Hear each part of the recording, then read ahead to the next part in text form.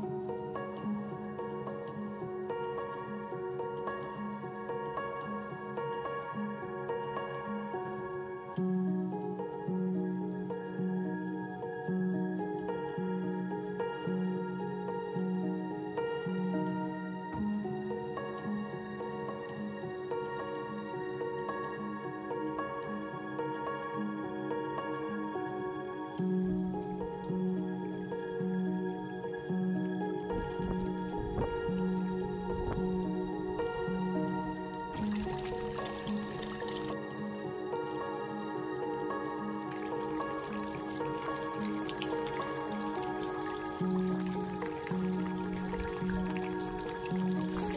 everyone, I've got the water feature going. How cool does that look?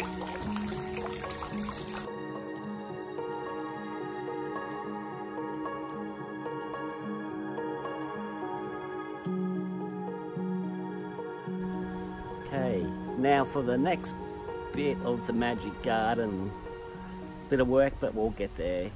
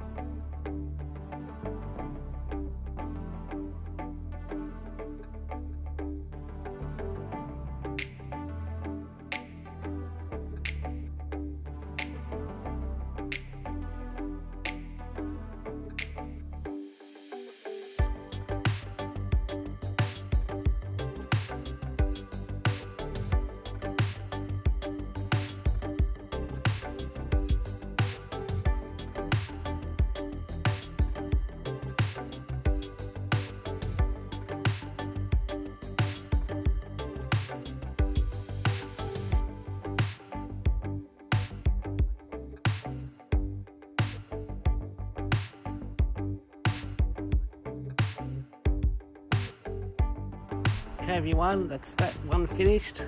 Done well today. It's only taken me pretty much a few hours.